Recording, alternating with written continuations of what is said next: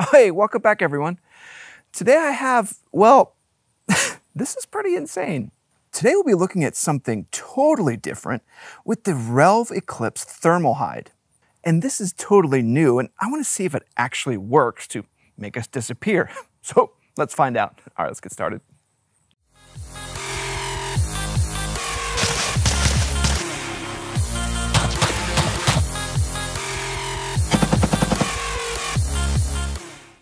So, first, I see a lot of really cool gear, like a lot. From night vision optics to scopes and sometimes gear that isn't even released yet.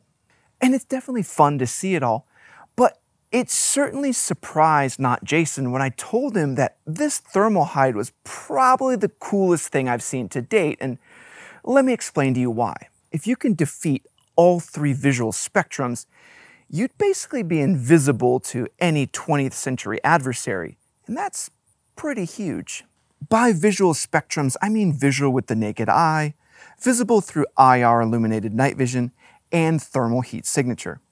And I'm sure there's somebody out there who's already halfway through their comment about how those $3 hypothermia blankets can actually block heat due to the way they reflect light. And yes, they can, but it doesn't defeat normal vision. So yeah, you'd be invisible to like thermal, but if anybody looked over there, they'd be this big, huge silver sheet just in the woods. So no, that doesn't work. But before I get way into the weeds about all this stuff, let's take a minute and talk about who Relv is. Relv was founded in 2017 and touts their mission as creating weaponized camouflage solutions to give you innovative and effective ways to conceal you in any environment. And I did ask the owner of Relv if the Eclipse was Berry compliant, and he did say that it was. But being Berry compliant isn't listed on the website anywhere, which is kind of odd. One more small caveat we'll put on the use of the Relv thermal eclipse is that's for the purpose of engagement, reconnaissance, or defense from a near peer adversary.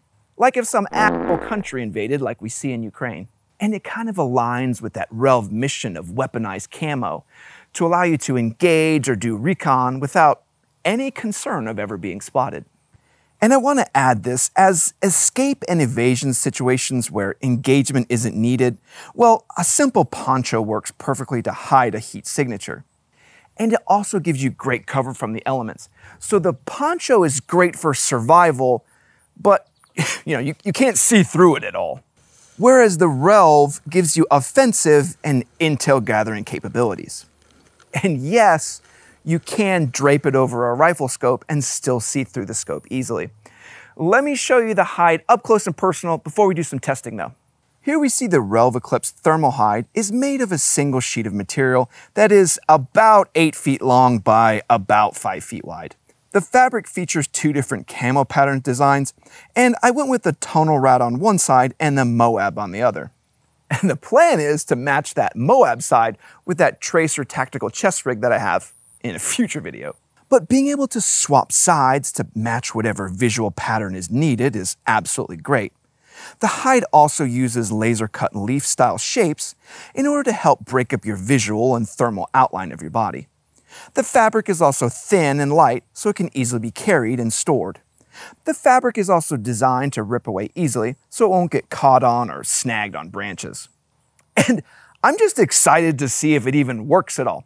So what we'll do is we'll test it and we'll see if we can actually be invisible from all three visual spectrums that we mentioned earlier. We'll do a few tests of visible light, then move to nighttime IR testing, and then we'll finish up with the thermal part.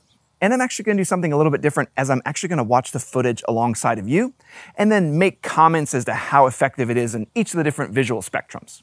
Hey, uh, yeah, uh, not Jason. Remember that Relv video I told you about? You mean that thermal hide you wouldn't stop talking about? Yeah, yeah, that's the one. Uh, but I have a small problem. I'm at the part of the video where I have to do thermal testing, but I don't have any thermal cameras. You, uh, you got any ideas?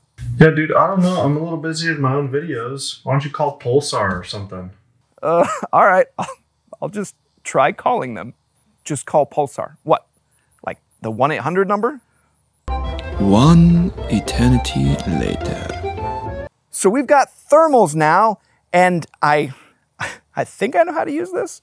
I don't, but we'll wing it and I'll actually review this Pulsar XG35 later on too.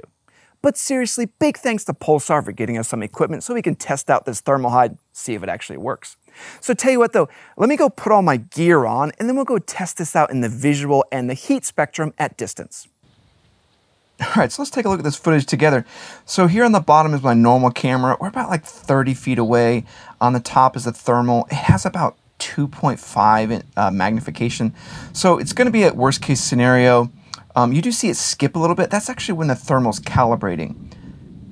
Now what's interesting here is I've almost disappeared completely visually. But from the thermal, and you can see after that calibration, still pretty visible there. Like you can, you can just see me sitting there. So what I'm going to do then is actually set up the Relv hide in front of me, just kind of hang it up off the trees. And oh, wow, okay. I, we kind of saw it for a second there. And I'm pretty sure I, I get it all set up and I'm kind of curious how this goes once I get it all in position. But I'm trying to hook it on one of those tree branches, which you can kind of see me doing in the bottom picture there. Okay, so there it's all set. And wow, so take a look at that you can't see anything visually or on heat. Like you pretty much disappeared.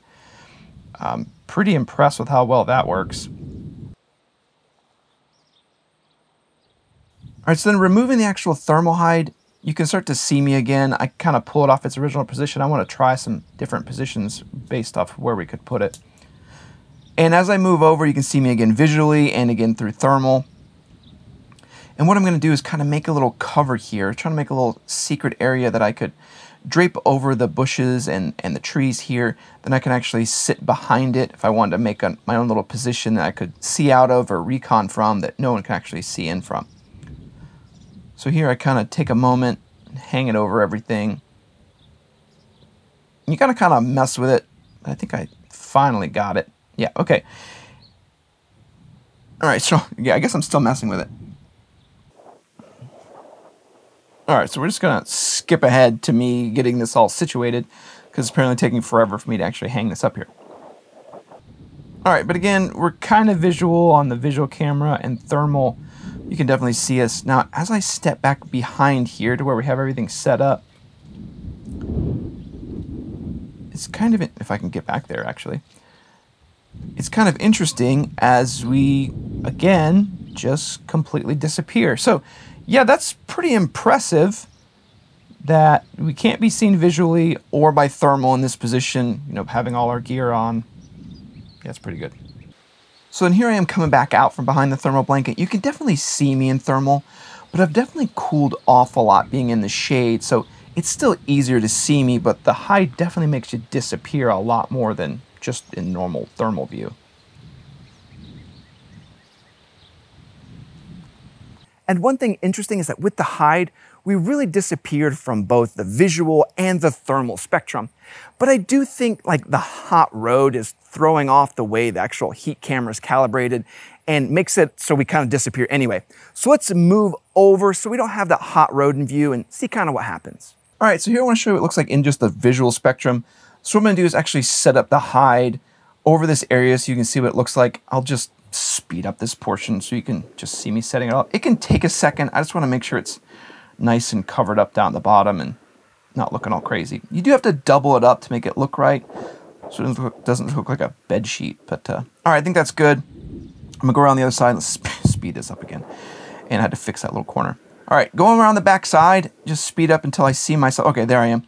And you can see me trying to weasel in through the woods back there. So take a look at that.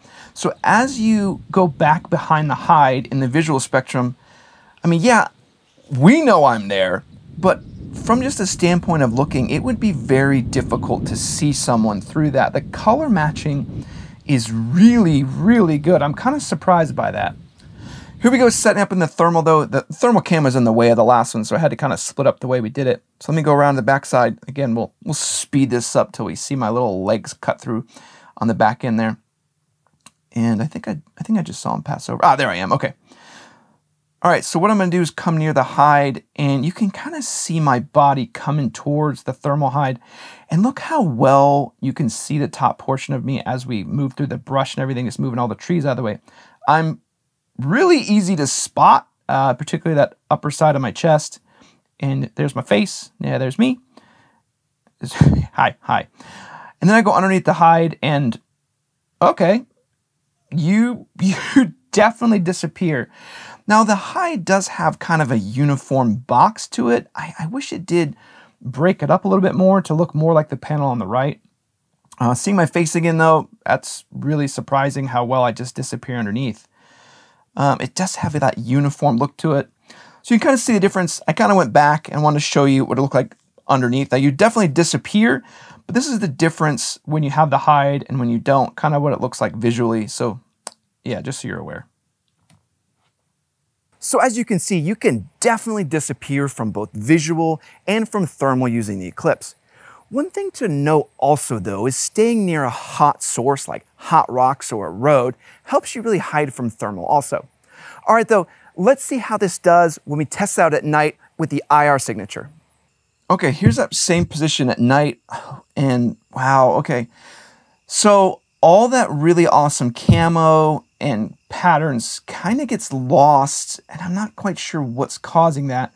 But now it just kind of looks like a big sheet with some holes cut in it. Um, this is really easy to see, so I'm not quite sure how well it's going to work in this application. Even setting it up further at a distance, it's harder to see. It kind of blends in, but it's just got this weird somebody standing there with a sheet on them kind of look to it. And I hate to say, but it seems like it's actually easier to see with the Relv hide at night than if you didn't have it but I think some of the shade kind of helped to hide a bit to disappear. So let's do those same three tests in my yard and see how it does. It'll be a bit closer, so we're definitely gonna get some different readings. I'll also hide behind the hide at first, but then I'll also drape it over myself and wear it and see how effective that is. But just know it's not meant to be laid on you. It's there's meant to be a gap between you and the hide itself. Okay, so here I want to show you what it looks like just using nothing. So again, I have the regular camera on the bottom and then the thermal on the top. Thermal, super easy to see. Visual, super easy to see. Just me waving at everyone again. So then what we'll do is we'll actually set up the thermal hide. Again, I'll just fast forward as we kind of drape this over this big set of weeds we have here. Now, I will comment on how well that color pattern works with just regular vegetation. So now we're going to hide behind here and again, I mean, that signature just disappears completely. Visually, I like the way the pattern works. I wish it broke it up a little bit more, like had some more like 3D look to it. But look at it thermal wise. You you can barely even see me moving around behind it at all. I think at one point soon I pop my head up. Yeah, there I am. So look at the difference. Look at the difference in the heat signature that just gets lost completely. Um, and that's pretty amazing. You definitely blend in with the surroundings here. And here you can see me kind of stand up. I just want to show you the difference again, what it looks like normally in normal heat vision and then what it looks like with a thermal hide. It's pretty impressive. And again, so I want to try this wearing it. So again, this is what we look like when we're just wearing nothing. We don't have the hide on at all. So I want you to see what it looks like under thermal camera. Now, we'll throw on the hide here. And again, this is not how it's supposed to be worn. This is just kind of a test of theory if you're wearing gear and your helmet. I would be worried that your head would actually be putting a lot of heat on the actual blanket, but the helmet may actually make this work. So, you know, this isn't ideal, but it actually does work pretty well. I'm just struggling a little bit to get it around my body. But look at it visually. You you disappear. I'm kind of surprised how well it works on the thermal side too. Like as I'm just sitting there, you don't see anything until I start to move around, and then you start to notice something, you know, something's kind of weird going on there, particularly in the thermal. But as you just sit there, it's pretty novel. Something weird's going on, but you don't know what it is. now standing, it's just not meant to be used this way. I'd be curious if you could make one like this, though. I don't know how all this works But the difference in the body parts that are shown and not shown, that's kind of what I'm using as an example here of how well the thermal height's actually working. And then again, from the visual perspective, it doesn't work at all standing, but you know, in that kneeling position, you know, in that, you know, that rifle position, you'd be pretty invisible. And again, on thermal, like look at the difference here. That's me not wearing it. You can easily see me. And then putting it back on, I mean, the signature's there, but goodness, just barely. Um, yeah, I'm definitely impressed by how well this is working, particularly with gear on. I think, as I said, the gear is what's making it cheat because nothing's going through the helmet. There's nothing really touching my body except for on my shoulders. Um, as we talked about, standing, standing doesn't do anything. Uh, don't recommend that. It's definitely for kneeling. But look at the difference here again in wearing it and not wearing it. And we see when wearing it that the heat is a lot harder to hide when you're actually wearing it. But still, it's a whole lot better than having nothing at all. But let's wait till it's nighttime again and let's test the IR signature and see if we get the same results as before. All right, so again, here's our hide at night and it just completely loses that whole pattern, that really nice camo pattern that it has. And it just looks like, I don't know, just like a sheet draped over it. I can't imagine this would be super useful. This would catch my eye for sure if I was just walking around and I saw this. That would be my biggest concern with using this with anyone else with night vision on. But in this testing, I'm in full kit and just ready to go. I asked some friends for some help to see what would happen if you wore it in just regular situations like if you had to just bug out and disappear in whatever normal clothes you had on. So first with my buddy Oz, we're kind of showing this in the visual spectrum, just showing you what it looks like. It's a lot like what we tested before with just regular clothes on. You can kind of see the silhouette, but it does blend in well. I'm super close, probably 10 yards. So, you know, it's really impressive that it even does this well visually from this distance. But let's go test this out in the woods. So here we have the visual on the left and the IR on the right. And here you can see visually it's doing pretty well.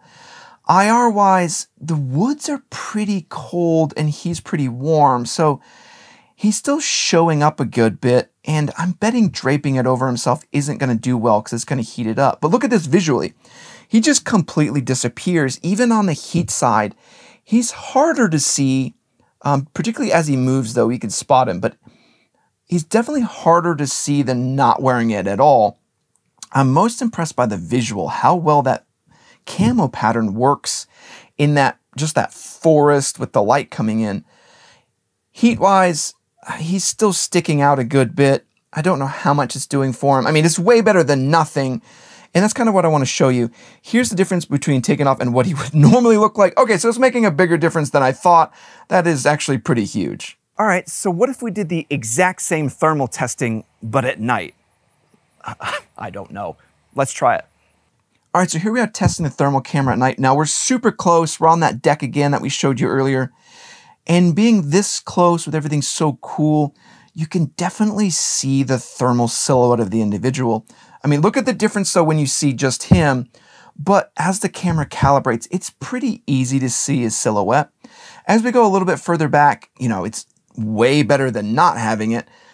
And as he sits still, that silhouette is pretty hard to see, but we're at what, 12 yards.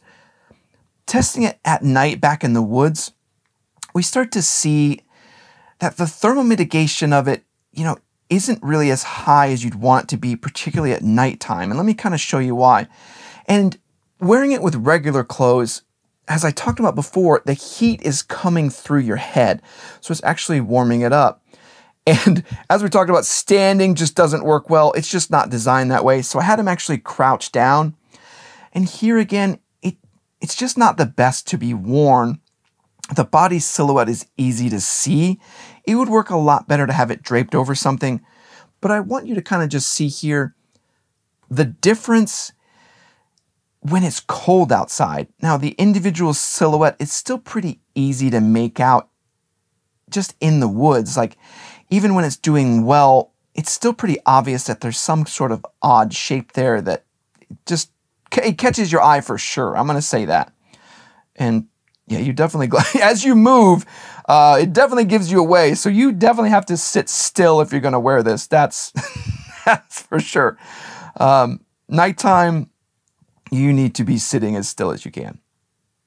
But look at the difference when you take it off, though. So I, I don't know. That, that's a huge difference still. And he can't see anything here, so it's funny to see him walk through the woods in the dark.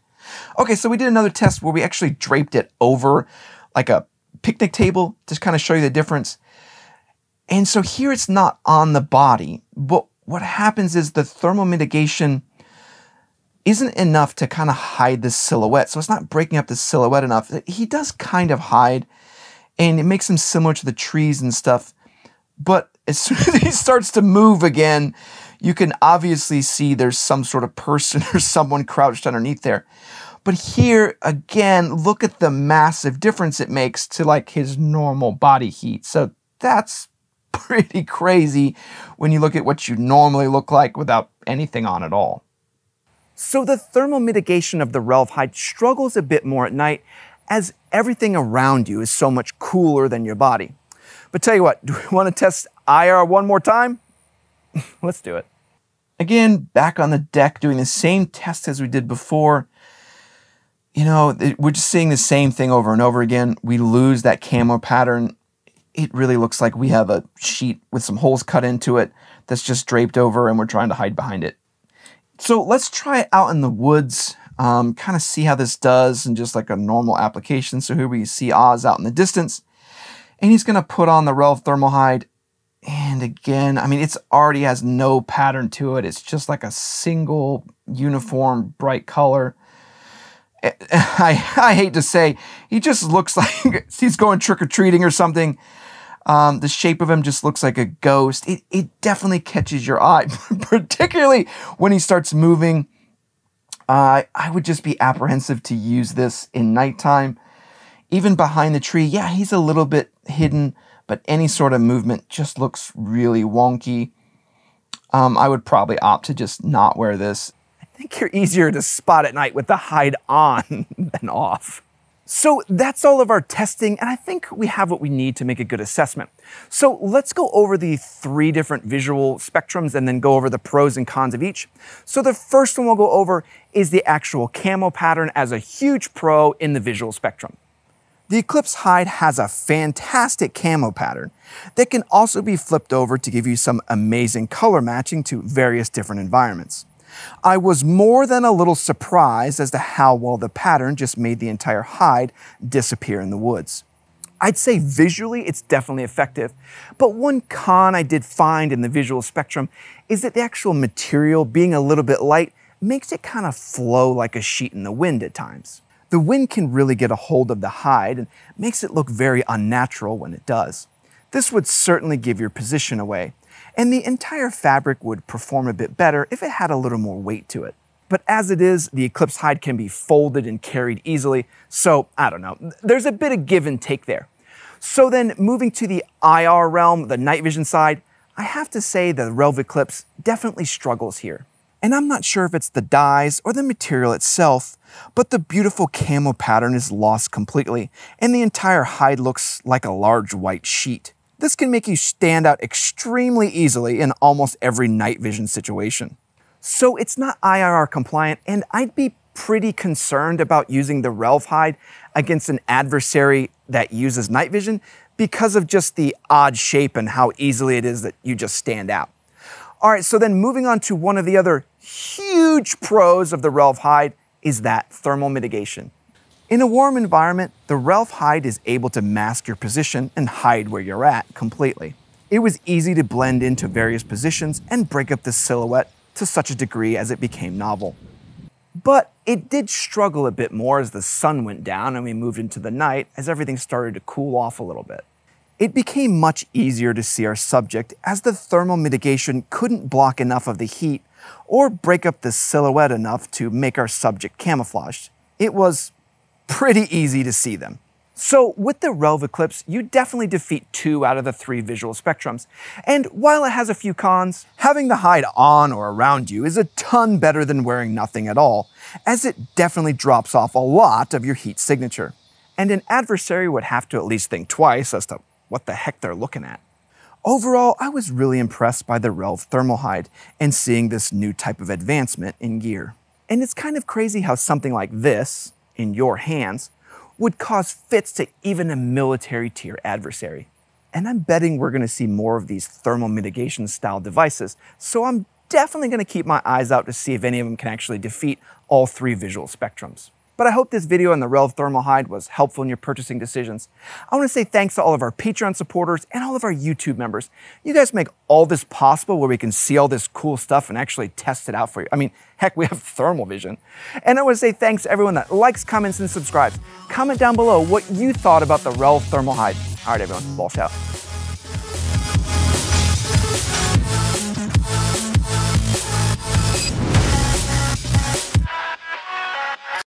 Why don't you just call Pulsar? Why do I gotta call him?